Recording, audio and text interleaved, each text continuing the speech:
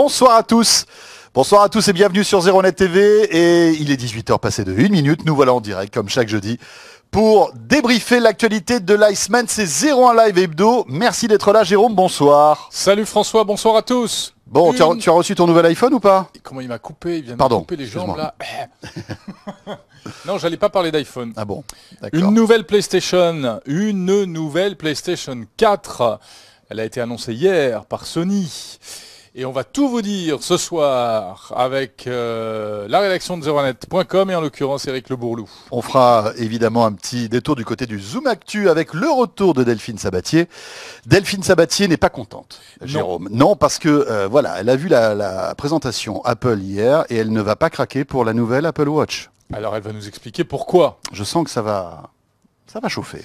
Apple Watch dévoilé hier et iPhone 7, bien entendu. Vous étiez certainement avec nous hier soir pour vivre cet événement en direct toute la soirée sur 01net TV. Et bien ce soir, on va revenir sur certains aspects des annonces Apple, hein, François. Bien sûr, parce que cet appareil photo de cet iPhone 7 a l'air exceptionnel. David Noguera nous dira un petit peu, bah voilà, il a un petit, comment dire, décrypté euh, les fiches techniques euh, de cet iPhone 7 et nous dira si véritablement l'appareil est prometteur. Et puis on parlera également euh, d'autres caractéristiques de cet iPhone, l'abandon notamment de la prise jack, qui n'est peut-être pas une mauvaise idée au fond. Oui, je sais, ça énerve, mais bon, on va en débattre. La question 01net Orange du jour. On va parler de la PlayStation 4. Est-ce que vous allez craquer pour cette PlayStation 4 Pro? Est-ce que vous allez dépenser 400 euros? Dites-le nous. Oui, non. Vous allez sur 01nettv.com ou 01net.com. Vous votez, on fera un petit point euh, tout à l'heure, dans quelques minutes. Évidemment, comme d'habitude, euh, vous pouvez interagir, poser toutes vos questions, vos commentaires en direct sur Twitter, hashtag 01live. Et c'est parti. Enfin, si tout va bien. Ouais, ça va, bien ça va ou pas Thomas? C'est parti?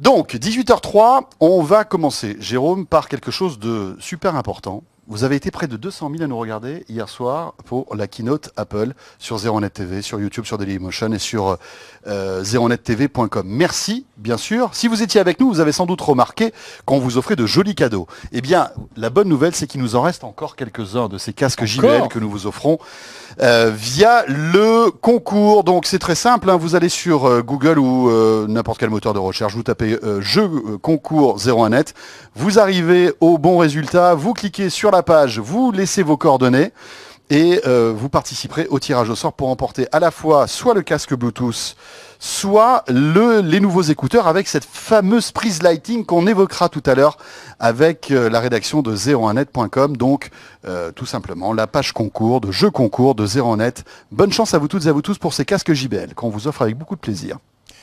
C'était donc une soirée assez exceptionnelle hier soir, puisque d'une part, Tim Cook et toute sa bande euh, faisaient le show à San Francisco pour nous dévoiler bah, toutes les annonces dont on va reparler dans un instant. Mais dans la même soirée, eh ben, c'est Sony qui a également euh, révélé des choses euh, plutôt intéressantes, n'est-ce pas Eric Le Bourlou? Eh bonsoir. Salut, bonsoir Eric, ravi de te retrouver, le rédacteur en chef de zeronet.com. Euh, Eric, déjà, bon, c'est comme si on faisait un dîner, on, se faisait un super dîner tous ensemble, et puis en même temps, je t'ai invité à un anniversaire quelque part. Oui, c'est un peu ça, hein, en gros. Hein, voilà. Même, le même soir, on annonce l'iPhone 7 et une nouvelle PlayStation 4. Exactement. Ils discutent pas entre eux, visiblement. Non, ils discutent pas entre eux. Je pense qu'ils voilà, savaient pas. Hein. C'est légèrement stupide. On savait un peu avant l'événement Sony et puis bon, Apple est venu un peu chambouler tout ça. Exactement. Euh, oui, c'est vrai qu'Apple a dégainé plus tard mm, hein, la date de l'événement, hein. mais on pouvait imaginer que Sony se doutait qu'elle allait avoir un event dans, ces eaux-là.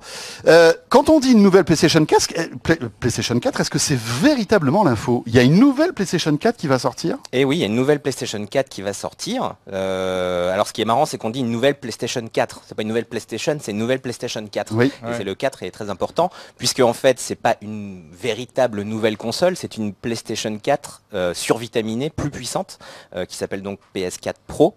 Et c'est une grosse nouveauté hein, pour Sony. Sony n'avait jamais fait comme ça de console, on va dire une version intermédiaire, intermédiaire entre C'est un peu comme l'iPhone 6 et l'iPhone 6S finalement. C'est un peu ça, ouais. Mais sauf que ça pose d'énormes problèmes souvent pour, pour les vendeurs de consoles, puisqu'évidemment, cette PlayStation 4 Pro est compatible avec tous les jeux PlayStation 4. Généralement d'une génération de console à une autre. On prend tout bah, et on met tout à paie- la voilà, c'est très rare qu'on Ouais. puisse conserver ces jeux. Euh, ça se fait de temps en temps. euh, Microsoft a un peu réussi à le faire, Sony par d'autres moyens, mais c'est pas facile. C'est quand là- même, pardon, juste parenthèse, c'est amusant d'appeler une console pro. Oui, tout à fait. Alors c'est vrai que maintenant il y a des joueurs pro, mais bon, Ouais, tout à c'est fait. pas, C'est- euh, voilà, oui, c'est pas, pas un vraiment un- de travail. C'est pas vraiment c'est du pas- B2B en général, Oui. la console de jeu. ouais, ou alors, il faut qu'on m'explique comment, quoi. Oui, je me suis acheté une PlayStation, PlayStation 4 Oui, Pro, J'ai équipé donc toute mon entreprise de PlayStation Pro. Je sais euh, pas pourquoi. Ouais. Alors effectivement pro, bah, voilà, parce que ça, voilà, ça doit faire euh, effectivement peut-être pour pour les pour les joueurs hardcore, ça fait pro, ça fait pro gamer peut-être. pro. Mais voilà, alors ce qui- ce qu'elle a de particulier cette euh, PlayStation Pro 4 Pro pardon, euh, c'est qu'elle est effectivement plus puissante que la PlayStation 4 et plus puissante pourquoi? Parce qu'elle est euh, on- alors c'est un bien grand mot mais compatible 4K. Elle est en fait elle est faite pour les gens qui ont une télé 4K chez eux qui sont un peu en manque de contenu, un peu ils se disent Ah, qu'est-ce que je peux bien faire. Qu'est-ce que je peux bien faire avec ma télé 4K bah, Je peux prendre une PlayStation 4 Pro. Euh, puisque ce que fait cette PlayStation, c'est qu'elle va améliorer les graphismes des jeux que l'on connaît. Alors euh, pour cela, c'est pas vous mettez votre galette euh, classique et puis vous jouez à des jeux euh, plus, on va dire plus jolis. Il faut que ces jeux soient patchés, donc ils seront patchés par internet quand vous mettrez une galette dedans. Il faut Et- qu'il soit compatible euh, 4K, c'est ça que tu il faut qu'ils dire soient, il faut qu'ils soient patchés par leur éditeur pour qu'ils puissent en fait profiter des améliorations graphiques que permet la PlayStation 4 Pro. Mhm. Donc c'est un petit peu compliqué parce que évidemment, alors c'est un peu compliqué, ça va pas être très compliqué pour le consommateur parce qu'il va, lui ça va, ça va être transparent quand le jeu sera compatible. Il lui suffira de De mettre. té- oui, de télécharger, de de, mettre à jour le jeu. Il le sera en vrai 4 en- Alors, ça c'est un peu, oui, c'est un autre problème, c'est un autre ça. problème, ouais. Est-ce que ça sera de la vraie 4K C'est Ah bah, a priori, ça. ce sera pas de la Parce qu'il y a vraie de la fausse 4K. 4K aussi. Oui, c'est ça le 4K, problème. C'est ça. En fait, ce qui va se passer pour pas mal de jeux, c'est que ça va être de l'upscaling. hein, ça va être de, ça, ça- il, va y avoir un traitement numérique sur l'image Hmm. pour faire passer une image euh, classique en 1080 Pour l'embellir, pour l'embellir et la faire passer en 4K. Mais il y a aussi des jeux. Mais c'est ce que font déjà les télé 4K, Eric. Si Oui. par exemple aujourd'hui je branche une PS4 sur une télé 4K, l'image est upscalée Voilà. en 4K par la télé. Ouais, tout à fait. Mais là, en fait, il y aura un traitement spécifique euh, de Sony sur, euh, sur de la console Mhm. sur, sur les jeux, ce qui fait qu'on aura quand même euh, une, une définition supérieure et on aura des textures plus fines, etc., etc. Mais le vrai enjeu, ce sera pour les éditeurs de jeux de proposer des versions euh, spécifiques à la PlayStation 4 Pro euh, pour avoir des graphismes encore plus beaux. Alors ce qu'on va sans doute voir, c'est des stickers euh, sur les boîtes de jeux avec euh, Oui, encore plus beaux oui, sur la 4K, PlayStation 4 Pro, etc., etc. Tous les jeux euh, ne profiteront pas forcément de cette euh, amélioration graphique, mais euh, il y aura quand même, voilà, un, un- un- un- parce qu'il faudra faire un petit travail pour les éditeurs pour mettre à jour leur jeu pour la PlayStation 4 Donc Pro. processeur boosté, enfin tout- tout- Exactement. toute la partie, on va dire processeur, que ce soit graphique ou Exactement. processeur normal, ont été boostés. ont en été fait, hein. améliorés, ouais, effectivement. Alors la console a effectivement un, processeur plus puissant et, et une nouvelle architecture. C'est toujours AMD, hein, mais elle, elle profite en fait de la nouvelle architecture d'AMD qui s'appelle Polaris et qui donc lui permet d'avoir des graphismes beaucoup plus jolis. Voilà. Mhm. Et effectivement, c'est, ce qui est étonnant, c'est que c'est une vraie nouveauté sur le marché de la console. Ça n'existait pas. Alors, il y a, Ouais. il y a eu quel- il y a quelques semaines le lancement de la Xbox One S, hein, qui participe un peu de ce même mouvement, même si elle est, euh, on va dire, elle est moins performante que celle-ci. Euh, Microsoft réserve sa, sa grosse console 4K, on va dire, pour l'année prochaine.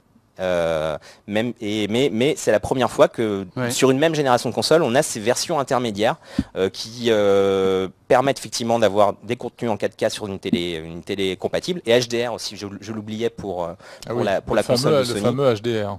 Ouais, mais ça va un peu complexifier le marché. C'est-à-dire maintenant vous avez euh, bah, une PlayStation Slim, hein, parce que ça c'est l'autre annonce de Sony. Oui. Une PlayStation Slim sans, sans, sans la 4K, une, une PlayStation 4K, et puis des jeux euh, 4K, pas 4K, etc. etc. Eric, à part les jeux en 4K, est-ce qu'on aura du contenu 4K en vidéo et notamment un lecteur Blu-ray Ultra HD Et non. 4K Et ça, c'est la grosse déception en fait de cette console. Euh, pourtant, Sony, qui, a, qui est l'inventeur du Blu-ray, euh, bah, n'a pas n'a choisi de ne pas mettre de lecteur Blu-ray 4K sur cette console. Ça c'est complètement incompréhensible. oui, c'est assez incompréhensible. On comprend pas bien. C'est un- c'est même, on va dire, un peu débile. Question de prix peut-être Non? Sans doute une question de prix. Alors, euh, ils- alors en fait, ils- eux, ils expliquent que c'est plutôt parce que c'est vraiment une, une console pour les gamers et que c'est pas une, une console Ça- de salon. ça, c'est l'argument Voilà, c'est un marketing, argument marketing effectivement qui n'est pas très intéressant. C'est Mais nul. c'est un, peu leur explication officielle. Euh, et, ce qui est, et ce qui est étonnant, c'est qu'en revanche, la Xbox One S, hein, euh, qui, est, qui est sortie il y a quelques temps, a lui, a elle par contre un lecteur euh, Blu-ray 4K et, euh, et donc un avantage, on va dire, pour, Ouais. les, pour les gens qui ont envie de voir des films en très, haute- en très haute définition, euh, alors que Sony n'a pas. Alors, par contre, ce qu'on a sur la PS4, c'est qu'on pourra télécharger des contenus 4K, notamment via YouTube. hein. YouTube euh, Oui, pourrait ou Netflix aussi, je ou crois. hein. Netflix, exactement. Vous pourrez euh, consulter les Oui, c'est-à-dire qu'en contenus 4K en dématérialisé, on a de la 4K. C'est euh, le lecteur en fait optique, donc le lecteur Blu-ray qui lui n'est pas 4K. Exactement. Et Oui, c'est pour peut-être pour essayer de- pour pas casser leur marché euh, naissant des lecteurs Blu-ray 4K. C'est une possibilité. Des lecteurs de Mm. salon. Ouais, mais rappelle-toi à l'époque du premier lecteur Blu-ray, il y a quelques années quand la PlayStation 3 était sortie, ils avaient sorti très vite en fait un lecteur Ouais. Blu-ray. Et c'est ce qui avait permis aussi la démocratisation des lecteurs Ouais, Blu-ray. ouais. C'est C'est ça effectivement, qui est- c'est- c'est qui est effectivement les consoles de Ouais, de Sony, hein, la l'impression PS2 que pour le DVD, la Mm. PS3 pour Blu-ray. c'est- les consoles de Sony qui ont démocratisé D'accord. euh, les films, euh, les films DVD Ouais. et Blu-ray. Après, c'est un ça- autre débat. Est-ce que vraiment Sony lui-même croit au support physique, pour- pour- y compris pour la 4K C'est Est-ce vrai. qu'ils sont pas plutôt déjà dans le dématérialisé? C'est vrai qu'on peut aussi dire que c'est peut-être déjà quelque chose du passé, mais bon, pour avoir, un- pour avoir des films en 4K sur Netflix, il faut aussi avoir la bande passante qui va avec. Ah, bien sûr. Il L'avantage, faut 25 mégabits seconde, hein, minimum. Ouais. Donc, euh, euh, l'avantage de la galette, c'est que vous l'achetez, puis vous avez un beau film chez vous sans avoir à télécharger quoi que ce soit. Eric, la Slim, la, la- la PS4 Slim, alors qu'est-ce que Alors la PS4 Steam, alors juste, elle coûte 3,99. hein, on n'a pas donné ouais. le prix, je La crois. hein, de la, 499 la euros. PlayStation 4 Pro Ouais. coûte La Pro, 399 euros. 399. Elle sort en novembre. Et elle sort en novembre. Voilà. Et la PS4 Slim, c'est tout bonnement la PS4 qu'on connaît déjà, mais en format. Alors ça, c'est plus classique parce que Sony a toujours, durant une génération, sorti une version plus compacte de sa console. Mhm. C'est une PS4, une PS4 qui a été, euh, on va dire, euh, un petit peu réduite, Euh, shrinkée de, de 30%. Donc on peut répondre, on a Adrien sur Twitter qui nous demande si elle a les mêmes perfs que la PS4 classique, ou meilleure, ou mieux. Alors, non, euh, alors euh, pour la PS4 Slim, Oui. a priori, c'est la même chose. Oui, c'est la même chose, sauf, est par, plus fine. En sauf fait. par contre qu'il y a une, il y a une petite astuce, mais la PS4 classique l'aura aussi, si je ne m'abuse. Euh, elle sera aussi compatible HDR, puisque par une update du Ah, firmware de la sera- PlayStation aura 4, ça en plus quand même. euh, mais, mais, Mais la PlayStation priori, la 4 PlayStation Après, 4 la- même la- actuelle, encore l'aura aussi. Donc finalement, ce n'est pas un, un gros avantage. Mais, Mm. euh, mais effectivement, on a cette fonction HDR aussi sur la, la- la PlayStation standard. Voilà, et 299 Et euros 299 euros. pour la PlayStation 4 Slim. Exactement. Est-ce qu'on peut imaginer que malgré tout Sony est dans ses cartons le, on va dire la, la future console qui sera véritablement de rupture, comme la Scorpio de Microsoft en fait Ouais, alors ça, ça, c'est un grand débat, sans doute, mais pour l'instant, en fait, euh, ce qui va se passer, alors c'était un petit peu bizarre hein, cette 3 où en fait effectivement euh, euh, Microsoft a annoncé Oui, ce projet Scorpio d'une on- console les- beaucoup plus puissante qui serait la plus puissante du marché quand elle sortira un jour l'année prochaine. Euh, euh, on peut se demander même si c'était pas une espèce de réponse à Sony qui avait au préalable annoncé qu'ils allaient déjà sortir pour Noël euh, cette année hein, euh, une console qui serait plus puissante. Donc après la nouvelle génération de consoles Mm. Sony, je pense qu'on va quand même attendre un peu avant de la voir hein, parce que la PlayStation 3 est sortie en 2006, elle est toujours bien vaillante. Voilà, Mhm. une, une conso- une génération de consoles, ça Ah peut quand même tenir il y a 10 aussi ans. la PS3. Ouais. Très parfait. bien. Merci beaucoup Eric. En tout cas, on voit de belles images là. hein. C'est vrai que ça donne envie euh, de- de- d'avoir en main Ouais. cette PlayStation Ouais. 4 Pro qui sort en novembre. Et gageons que si les stocks suivent, euh, Ouais. Sony risque d'en vendre un petit. Ça peut faire un carton à Noël, wagon, mais hein. ça dépendra aussi du, de, de l'équipement en télévision 4K. Parce que c'est vrai que Ah oui, sans la ça- 4K, ça n'a de si on n'a pas de télé qu'avec 4K, un- c'est beaucoup moins intéressant. C'est beaucoup moins intéressant, mais on se rend compte que le prix des télé 4K aujourd'hui Oui, est en train de chuter. baisser. Ça trouve prix Bah, on a, on a des télé 50 pouces 4K à 600-700 euros Mm. aujourd'hui. Mhm. Alors c'est de l'entrée de gamme, mais malgré tout, c'est la 4K et de marques euh, euh, Oui, de- de voilà. c'est- Merci beaucoup Eric. Merci. Eric, tu restes avec nous parce qu'on va te solliciter dans un instant pour l'autre gros dossier qu'on va ouvrir dans quelques minutes après le Zoom Actu, c'est l'iPhone. On va vous parler non pas des, de- des nouveaux iPhones, mais des nouvelles fonctionnalités qui arrivent. Ouais, mais juste avant, la question 0 net orange du jour, en rapport avec la PS4. Allez-vous craquer pour la PlayStation 4 Pro dont on vient de parler? Pour l'instant, euh, c'est pas franchement euh, l'engouement. hein. Non à 80%. Ah. Voilà. Bon. Vous Bon. pouvez continuer à voter, bien entendu, www.01net.com. Bon, ça c'est que le début hein, de ce sondage, hein, peut-être que ça va évoluer, mais c'est vrai que pour Ouais. l'instant, euh, c'est quand même assez tranché. hein. Euh, vous restez avec nous tout de suite le Zoom Actu avec Delphine Sabatier.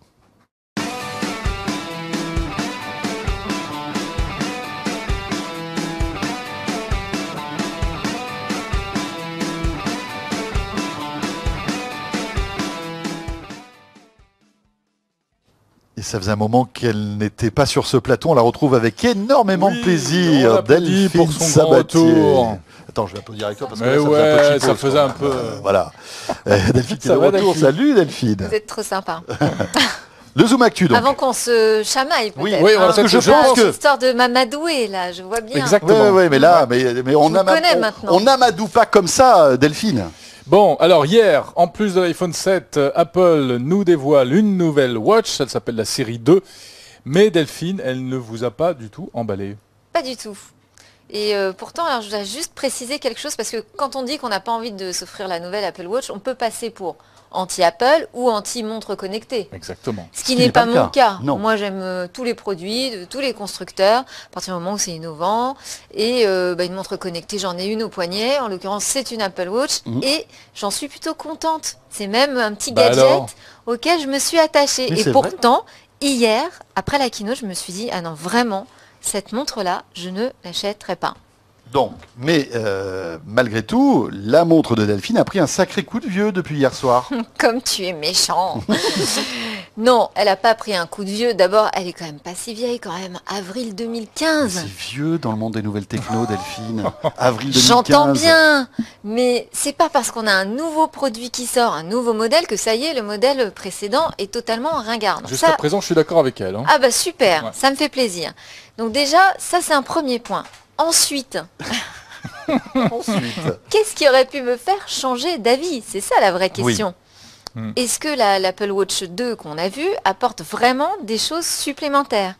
Par exemple, on me dit, eh ben, euh, ta montre, elle n'est pas étanche alors que la nouvelle, elle est étanche.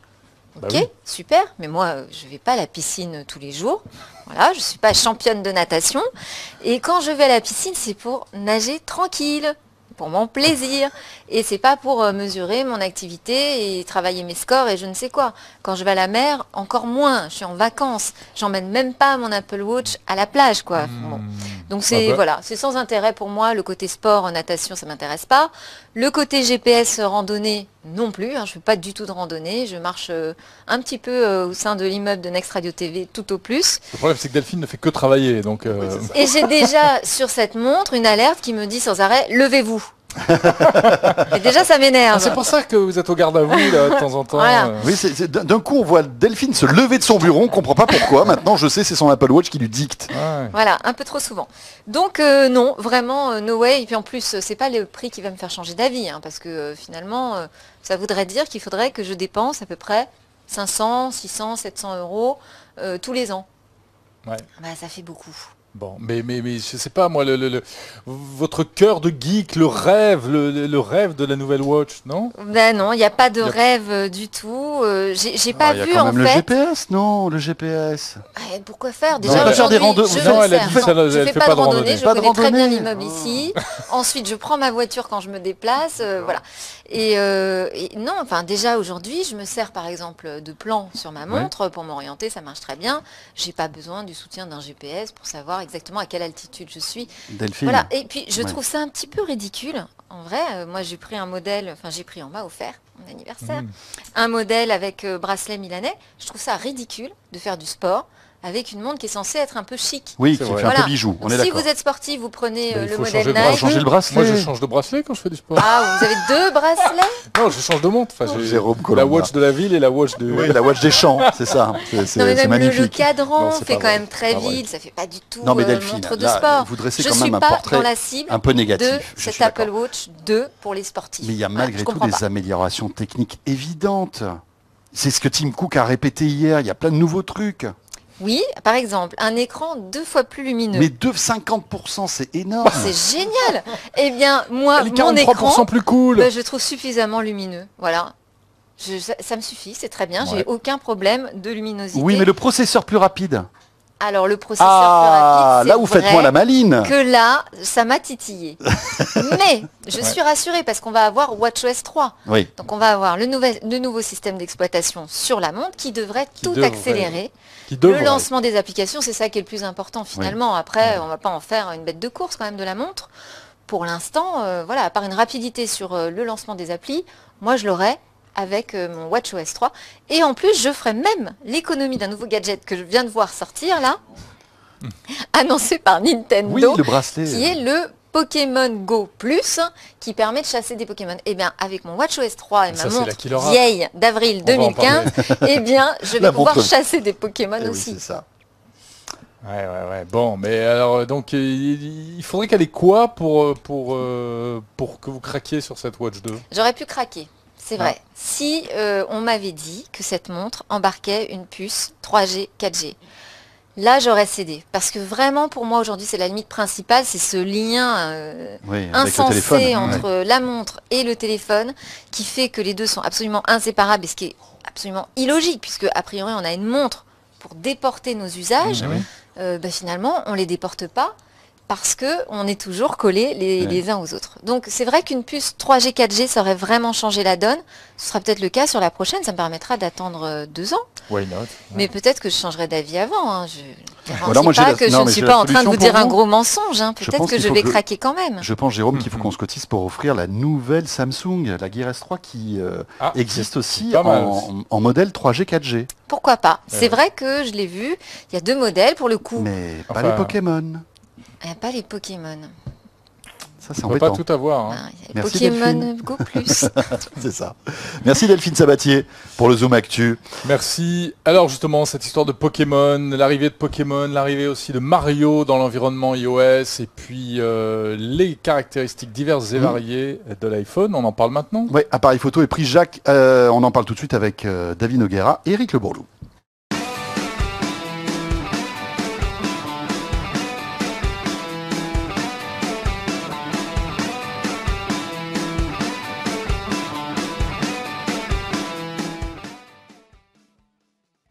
Alors évidemment, euh, beaucoup de vidéos vous attendent hein, sur Zeronet TV pour découvrir ces, ces iPhones qu'on vous a présentés hier. Avec va les, essayer les premières images même Oui. euh, des, des- des prises en main euh, à San Francisco par Pierre Fontaine. Exactement, qui euh, était donc euh, au cœur du- de la centrale nucléaire, hein, euh, où ont été présentés tous Ah, ces appareils. Je crois bien, je crois bien. Voilà, on, on- on découvre ces images-là euh, qui ont été prises hier. David Noguera nous a rejoint. Salut David. Bonsoir. Bonsoir David. Alors David, l'une des fonctionnalités qui a été mise en avant tout au long de la soirée hier, c'est l'amazing appareil photo de l'iPhone 7 et surtout de l'iPhone Plus, 7 surtout, Plus. surtout, ouais, effectivement, avec Voilà. euh, ce, ce système de, de double module de caméra qui permet en fait euh, plein de choses. Parce que techniquement, c'est vrai que le capteur 12 mégapixels euh, au dos, on en a vu déjà quand même euh, pas mal. C'est pas la grosse grosse révolution. Et c'est d'ailleurs le, le- le nombre de pixels qu'il y a sur l'iPhone 6S qui est déjà, enfin qui est sorti depuis un an. hein. Voilà, qui a déjà plus d'un an, effectivement. Euh, le, il y a aussi euh, ce capteur 7 mégapixels en façade, cette fois-ci pour le FaceTime. Là, ça va être un petit peu plus sympa pour, Oui. euh, pour euh, du, du FaceTime ou du selfie. Du mais selfie, ouais. la Parce qu'on était à grosse, 5 grosse- avant, je crois. hein. Euh, Oui. Il me semble bien que c'était 5. On était à 5 Oui. et là on passe à 7. Et le, le gros gros morceau, eh bien, c'est en fait plutôt la, cette, la conception qui est derrière, avec cette construction si lentille, ce capteur euh, stabilisé et l'intelligence du nouveau, euh, la nouvelle puce de traitement photo, puisque cette fois-ci l'iPhone 7 Plus a une puce dédiée au traitement des photos. Et alors, euh, c'est vrai que le spécialiste photo dans la maison, c'est Adrien, mais on l'a entendu un peu hier soir tout au long de la partie session photo de la conférence, Ouais. euh, crier des petits cris en disant, enfin, faire des petits cris en disant, c'est bon, euh, là ils ont l'argument qui pourrait me faire craquer parce que la puce est capable de faire 100 milliards d'opérations par photo, donc euh, à peu près en 25 millisecondes. Et donc ça, c'est une- autant d'opérations qui, interviennent pardon, sur la balance des blancs, l'exposition, euh, la qualité des couleurs la réduction du bruit pour avoir le meilleur cliché, final. Ah Voilà, oui. donc on aurait des super euh, photos à l'issue euh, donc de, d'à chaque fois qu'on qu'on Et ça dès l'iPhone cliché. 7. hein. Et ça, voilà, toute cette technologie 7. n'est pas réservée Ça, à l'iPhone 7 exactement. Plus, c'est l'iPhone 7. Le 7 qui Plus, gagne la stabilisation optique, Oui. alors que pour les précédents modèles, c'était que sur les plus hein, qu'on avait la stabilisation Exactement. Et là, c'est euh, vraiment pas mal parce que si ça fonctionne bien, ça va faire énormément. euh, Enfin, ça va apporter beaucoup beaucoup de choses parce que dès qu'on a une stabilisation, on peut commencer à faire aussi des, des photos dans des conditions un petit peu plus. Oui, compliquées. les Mm. basses lumières et c'est là qu'on arrive aussi sur les améliorations optiques puisque ils ont quand même annoncé un- une, une- une ouverture de focale qui passe de 2.2 à 1.8 alors ça parlera seulement aux gens qui sont un peu sensibles à la photo mais on le sait les ouvertures de diaph c'est euh, pas constant Euh, dès qu'on passe de 1 de 2.2 à 1.8 on gagne euh, deux tiers de diaph, 66%. Donc beaucoup plus de luminosité, luminosité. lorsqu'on capture des images. Donc pour la basse lumière, c'est parfait. En plein jour, pareil. Ouais. Le double module caméra, ça Alors oui, permet... quel intérêt Alors, ça du coup, ça va permettre de, de faire des vrais effets bokeh en temps réel. On va prendre une photo Donc, et les deux bokeh, capteurs, l'arrière-plan c'est la- flou, l'arrière-plan flou sur dans les un mode euh, voilà, sur ces portraits. Donc Mais là, excusez-moi, c'est- je vous arrête, mais c'est pas nouveau, ça, ça existe depuis des années. voilà, sauf que Apple. Pas sur iPhone, pas et sur c'est iPhone. et c'est Non, surtout que la Apple nous dit qu'ils ont euh, réussi à faire un truc Enfin, temps réel. des années. Non, qu'HTC n'a pas. Bah, il y a HTC qui a essayé effectivement avec HTC il y a quelques années, le P9 c'est surtout Huawei, le Huawei. etc. Et, euh, et a priori, là, il faudra vérifier bien entendu, mais Apple nous vend surtout la capacité de, de- de l'iPhone 7 Plus à le faire en temps réel et d'avoir euh, finalement de choisir et de se dire bah je, Mhm. je valide, je valide pas, euh, je, je recommence. Et ça, a priori, ça serait une, une, une vraie performance euh, technique. Et euh, a priori, Adrien avait l'air de, de confirmer la chose. Donc ça, c'est euh, ça fait partie des, des grosses améliorations. Après, euh, que vous dire d'autre Euh, On a effectivement euh, donc euh, le premier bloc qui, euh, qui a un, mode, un module euh, grand angle, le second qui est plutôt dédié au portrait. Et ça, D'où la notion de zoom optique. de- D'où cette de notion, vrai zoom optique. exactement. Zoom optique 2x, bon, c'est modeste. Et qui pourrait être monté jusqu'à 10 en numérique avec un résultat très propre. Ouais. Là encore, il faudra à tester. vérifier. Vivement que ces appareils arrivent prometteur. et ils devraient arriver à la rédaction assez vite. Mm. Donc on pourra commencer à vous donner les premiers tests très rapidement. Ça me fait penser en fait au capteur du, du LG G5 qui avait justement un capteur qui permettait de faire du grand angle et un autre qui, qui était plus portrait en fait. Exactement, une focale plus traditionnelle. Ouais, finalement, euh, Apple n'invente pas hein, de, de nouvelles technologies, mais Non, les mais- améliore visiblement. On a vraiment l'impression qu'en tout cas ils veulent revenir parce que pour rappel on a quand même un, un petit comparo euh, de un Ouais. petit top 10 de smartphone photo. Ils ont perdu le, le leadership en termes de qualité voilà, photo. Depuis hein. un moment, ils Ouais. sont cinquièmes aujourd'hui sur notre top 10, là où euh, HTC, enfin là où le OnePlus 2 pardon euh, est premier, euh, suivi du S6 et du S7 de- de, Exactement. Samsung. Donc euh, À suivre donc, on aura les premiers résultats, on va dire concrets, dès la semaine prochaine. Autre particularité de cet iPhone 7, hein, Jérôme, c'est la disparition du port mini jack, et on en parle sur zeronet.com. Eh Eric. Et oui, on en parle. Bah oui, ça ça fait beaucoup jaser quand même. Oui. Mais, c'est- c'est, c'est, c'est- voilà, il y a beaucoup de gens qui, voilà, sur, sur, Alors sur c'est les rigolo réseaux parce que c'est assez peu- tranché. Hein. Il y a des gens qui s'en foutent complètement parce qu'ils disent ouais moi j'écoute de toute façon en Bluetooth, euh, euh, voilà, et puis d'autres qui disent bah moi ça m'ennuie parce que euh, je me sers de mon de, de- de- de ce port mini jack tous les jours. Ouais. euh, Regardez-moi cet article de troll là, hein, sur 01net. Ouais. Pourquoi Apple a raison raison de supprimer la prise Ah jack ouais. Qui a écrit ça il faut le lire absolument cet article. Qu'est-ce qu'il est taquin celui-ci? Euh, mais il a, oui, effectivement. euh, Non, non, il a raison. il a Enfin, raison, C'est très bien a- argumenté en tout cas. Euh, mais mais c'est vrai qu'en tout cas, ça fait beaucoup débat sur les réseaux sociaux. Euh, mais c'est passé un petit peu comme une lettre à la poste à la conférence d'hier, c'est-à-dire que Phil Schiller l'a, expliqué en disant de toute façon, on, on supprime la, la prise jack parce qu'on a du courage. Il a dit, il a, il a évoqué le courage Ah, de supprimer cette prise jack. Ouais, et, Ils ont euh, 48% plus de courage que Samsung. et il, faut se, il faut se rappeler euh, quand même que, que qu'Apple est quand même un spécialiste de ces Du courage. disparitions. Du courage, oui, bah c'est Apple qui a fait disparaître le lecteur disquette, c'est Apple sûr. qui a fait disparaître le lecteur DVD, qui 2008. a fait disparaître aussi euh, les ports Ethernet de ces, de ces MacBooks. Mm. Euh, donc voilà, ils sont habitués de la question, donc hein, ça n'a jamais trop plu à Apple ces petits ports là qui permettent de brancher des trucs donc moins il y en a mieux c'est en général pour Johnny Ive notamment pour le designer d'Apple Ouais. hein. Euh, Mais mais c'est vieux, c'est vraiment c'est ancien. c'est très vieux, ça remonte au 19e siècle, hein, le, Non. le- le port jack, ouais, ouais, ouais, ouais, fin du 19e siècle. Bah, C'est justement euh, Jean-Sébastien qui en parle dans son article. Et c'est vrai que pour Apple, c'est aussi un port qui prend de la place et qui n'a qu'une seule utilité, Mm. c'est-à-dire de... euh, alors même si on lui a trouvé d'autres utilités, c'est notamment utilisé par Square, l'entreprise Square pour faire du paiement. Exactement. Mais euh, là, Ouais, ils pourront c'est plus le faire sur les nouveaux iPhones avec leur technologie Là, ils passeront par Lightning, Ils Exactement. monde. Lightning. Mais c'est un port effectivement qui a une principale fonction et qui ne sert qu'à transporter du son. Et ce que dit Phil Schiller, c'est on peut Du pas son analogique. voilà. Et on peut pas se permettre aujourd'hui sur des smartphones où il y a très peu de place de garder une prise Mhm. qui ne sert qu'à ça. Cela dit, euh, on s'attendait éventuellement à ce que du coup il gagne quelques millimètres en épaisseur. Non, il est effectivement. et, et c'est pas le cas. Donc à quoi est utilisé cet espace? Alors notamment à l'intégration d'un nouvel haut-parleur, hein, parce que on- là on n'en a pas parlé, mais c'est vrai qu'il y a un- maintenant l'iPhone 7 est stéréo, donc il y a un haut-parleur sur les deux côtés du téléphone, et donc ça notamment place, pour ça. hein. hein, Parce notamment qu'il faut, de pour la- ça. il faut de l'espace pour que le son Voilà. sorte. Et puis il y- a aussi peut-être, ça peut-être, ça je ne sais pas, je, je- je fais une supposition, mais il y a aussi un truc qui est important sur l'iPhone 7, c'est qu'il est étanche, ou en tout cas résistant à l'eau. Et Mm. peut-être que le, c'est plus compliqué aussi de, de gérer ça avec une prise jack. euh, Bah, ça fait un plus. trou supplémentaire à gérer Voilà. euh, quand le- le- l'iPhone prend l'eau. Donc, euh, Ouais. Ouais, puisque là, il y a plus petite trappe. euh, Voilà, exactement. Là, il n'y a plus que le, le Lightning, en fait. ouais. Mais en tout cas, effectivement, ça, ça- ça fait débat parce qu'on a tous, on a tous des- un casque avec une prise jack, mais Apple se les jouait quand même grand seigneur hein, sur l'iPhone 7, puisqu'ils vont fournir Ils à tous leurs clients un adaptateur assez étonnant. ça, hein. Lightning vers jack. Je pense que c'est une façon de faire passer la pilule parce que ouais, si ouais, on avait ouais. dû acheter à côté, alors en plus ils ont mis l'adaptateur, c'est c'est très rare chez Apple, ils l'ont mis à 9 dollars.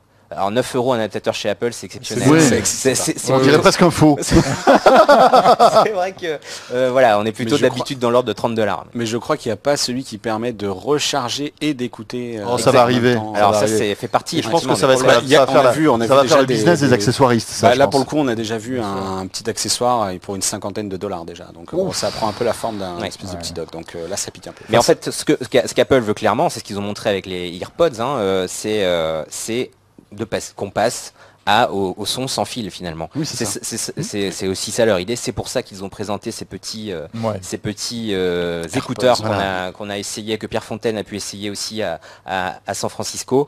Et euh, voilà, c'est ça fait partie de la nouvelle proposition d'Apple. On se débarrasse des câbles pour l'audio. Ouais, Avec bon. un petit peu moins de batterie à chaque fois, parce que tout ça c'est du Bluetooth, ça pompe sur la batterie, etc. Oui, et puis il faut penser à la recharger. Voilà, euh, recharger. Même si ça Oui, tient pas, cinq a heures. priori. Ouais. Enfin 5 heures, mais 5 Cinq fois heures. 5. Oui, avec, la Avec batterie. la mais bon, c'est quand même voilà. contraignant de remettre, Oui, des, et remettre puis il les- faut attendre que ça se recharge. hein, pendant ce temps-là, Voilà. vous écoutez pas la musique. Hein. des, c'est des écouteurs qui sont ceci dit assez intelligents parce qu'ils ont un accéléromètre à l'intérieur, on peut utiliser Siri grâce à eux. Donc il y a, il y a, il y une un Apple plus Touch quand quand même. dans ces Oui, écouteurs bien là. sûr. Après Ouais. on aime ou on n'aime pas le design, on aime Mm. ou on n'aime pas Alors, ce genre d'écouteurs. Vous, savez que le, le- donc le- les smartphones sans port euh, jack, ça va devenir le top du top. Hein. Bah, Maintenant, je pense avoir que un si- port jack, ça va être complètement ringard. Ça va être complètement ringard. Et par exemple, alors il y a des petits rigolos qui ont pensé à un truc. Si vous avez un iPhone 6, euh, bah, malheureusement il a une prise jack. Ouais. Donc euh, Mais On est voilà. un loser en fait. Regardez, euh, si Thomas peut montrer euh, cette image, voilà l'accessoire ultime pour boucher le port jack uniquement pour l'esthétique. Mais dis-moi, je pense que tu le 29 mets euros. une fois, tu le mets une fois, tu peux plus l'enlever là. hein. Là, t'es Ah bah oui. mort. Ah, c'est fini. Là, tu condamnes ton port jack en fait. Non, bien entendu, c'est une plaisanterie, mais c'est assez amusant. Ouais, c'est drôle. Ouais. Bon, euh, si vous voulez en savoir plus sur les capacités euh, photo du nouvel appareil de l'iPhone 7, le Lightning, tout ça c'est sur 01net.com bien évidemment, avec euh, toute la rédaction qui travaille sur cet iPhone 7, bien Ah ouais. évidemment. Bon, on, est, on, est, on a débordé, mais euh, en deux, deux mots encore pour signaler euh, une annonce qui est assez importante. hein. Hier, c'était euh, Ouais. l'arrivée de Mario. Ouais. Et puis aussi, toujours dans le domaine du jeu vidéo, de Pokémon Go sur la Watch, Mario sur l'iPhone et Pokémon Go sur la Watch. Ouais, c'est aussi la soirée de Nintendo, grande, hein, grande histoire hein. d'amour entre Apple et, et- et Nintendo, puisqu'effectivement Nintendo qui, n'a- qui, qui était- a toujours été assez hermétique pour porter ses jeux phares sur euh, d'autres plateformes que les siennes, a choisi Apple et a choisi cette conférence pour présenter le tout premier Mario euh, de l'histoire Ça sur va- smartphone. Ça va cartonner, ça. Euh, et c'est carrément Shigeru Miyamoto qui est, qui est venu sur scène, donc c'est une, légende, hein. c'est le papa de Mario, le papa de Zelda. Euh, donc ce ne sera pas une exclue pour iPhone, il y aura Mhm. une version Android, mais ce sera au départ sur iPhone évidemment. Mhm. Euh, et c'est un Mario, euh, c'est un, c'est un Mario, euh, voilà, adapté au smartphone qui se jouera d'une main. Oui, c'est un Flappy Bird mais avec Mario C'est quoi. voilà, c'est un, c'est un, c'est- voilà, c'est un, c'est un jeu où voilà, Mario avance tout seul et il faut sauter au bon moment. C'est un- c'est assez classique, c'est c'est un- Bien ça du gameplay qu'on connaît assez bien dans les, sur les jeux mobiles, mais on se doute que Nintendo va réussir à faire quelque chose d'assez euh, voilà addictif comme ils savent le faire. ouais, Mais, mais d'un côté, je trouve très malin de la part de Nintendo parce que ça ne remplacera jamais le Super Mario qui est sur console. Les hardcore gamers de Super Mario trouveront ringard ce, ce- ce- ce Super Mario là parce que évidemment c'est quand même assez limité, il suffira d'appuyer pour Ouais. sauter. Donc malgré tout, voilà. Mm. Il y a un peu de Nintendo qui arrive sur le mobile, mais pas véritablement Non, c'est pas- toute la richesse du, vrai Mario jeu Kart. Nintendo. Et puis, C'est pas Mario Kart. et puis pas c'est pas Mario Kart qui reste C'est quand pas même. Mario Kart, mais ça reste quand même euh, le, le, le jeu peut-être le plus emblématique de Nintendo, plus puisque représentatif, c'est ce d'accord. platformer qui a fait le succès de Nintendo. Et encore un mot, euh, Pokémon Go sur la Watch, Eric, c'est une bonne Oh. idée? C'est une excellente idée. Je pense qu'il y a des gens qui vont acheter des Ah bah. Watch juste pour jouer à Pokémon Moi Go. je demande à voir l'autonomie par contre de la Oui, Watch, hein. parce que déjà, Ah oui, sans la montre, ouais. c'est quand même catastrophique. Le smartphone qui chauffe quand on laisse tourner euh, Pokémon Go, euh, ouais, je me demande aussi Non, mais si c'est Watch, juste, c'est quoi Si c'est juste des notifications de... Non, non, c'est- alors c'est Non pas que des notifications, il y a effectivement des notifications. Euh, ça permet effectivement de savoir la montre vibre s'il y a un Pokémon à, à proximité, mais elle permet aussi la Watch d'interagir avec un Pokéstop. Donc euh, pour ceux qui jouent à Pokémon Go, bah, pour récupérer des pour récupérer des petites balles, bah, il faut bien passer par les Pokéstop et D'accord. c'est c'est pas très pratique d'utiliser à chaque fois son smartphone. Donc là, vous avez quasiment l'intégralité du jeu sur la Watch, sauf le la on- capture des On Pokémon peut en pas elle-même. capturer les Pokémon. Non, a priori non. Mais en revanche, on a ses Ah. stats, on voit, on, on peut, on peut voir la progression de ses œufs, hein, euh, si on a euh, Ah, suffisamment marché classe, pour. quand même, depuis Mais, la de mais c'est vrai qu'on s'était dit quand Pokémon Go est sorti qu'il était indispensable d'avoir euh, une application pour les montres connectées. C'est une, vraie killer app pour les montres connectées. Ça, Ouais. ver- ça arrive un peu tard maintenant que voilà, on Même était si fini. je, je suis pas sûr de l'adéquation des publics entre le public de la Watch d'un côté et le public de Vous Pokémon savez, Go de l'autre. on ne sait pas parce que il y, y a quand même et là ils ont quand même annoncé hier euh, donc les gens de Niantic qu'il y avait eu 500 millions de téléchargements de Pokémon Go. Parmi ces gens-là, il y a effectivement Hmm. Ouais, des, ouais, petits- jeunes, mais il y a aussi des gens de mon âge euh, Oui, qui ont joué. euh, qui ont ouais. beaucoup joué. ont joué et euh, il y, a- y a vraiment énormément, énormément de joueurs de Pokémon Bon, on Go. fait un petit sondage, on est quelques-uns là dans la salle. On est, euh, combien on joue à Pokémon Go cet été? Moi je lève la main. Il y en a Voilà. qui 1, Allez, on 2, a tout 3, 4, Là, 5. Allez, Noémie Quelle non. JD lui bon Pas du non, tout. et Pierre non plus. Voilà. Ah bon. Bon, c'est pas mal quand même, ça fait une belle moyenne. Ouais, moi, j'ai pas beaucoup joué. hein. Non, d'ailleurs, je n'ai pas joué. Je- non, en fait, non, non. je- Merci Eric, Eric Le Bourlou, donc rédacteur en chef de Zeronet.com et merci aussi à David Noguera. Dernier tour du côté de la question 01net Orange du jour. Oui. Euh, Allez-vous craquer pour la PlayStation 4 Pro Oula, ça dégringole. hein. C'est pas terrible. Ça ne vous emballe pas. Non, à 81%. Bah écoutez, continuez à voter, on en reparlera la semaine prochaine. Voilà, sur zeronet.com ou zeronettv.com. Ce 01 Live 2 est terminé. Merci d'avoir été avec nous. On a été ravis de passer ces- cette grosse demi-heure en votre compagnie. On se retrouve évidemment, vous le savez, demain. Tous les jours, c'est toute l'actualité euh, high-tech, notamment avec Émeric Siméon qui reviendra plus longuement sur euh, la sortie de la PlayStation 4 Pro. hein. Il va nous décrypter tout ça. Et puis, euh, on vous souhaite une très très belle soirée. Merci à Thomas Romiret qui réalisait ce live, à Jean-David Duhart, à Noémie Lefebvre et à Pierre Thiolin. Voilà. Puis tiens, allez, en quelques secondes, notre jeu toujours pour vous remporter euh, ces casques et ces écouteurs JBL. hein. Vous allez sur la page du concours de 01net.com et vous vous inscrivez, vous participez au tirage au sort.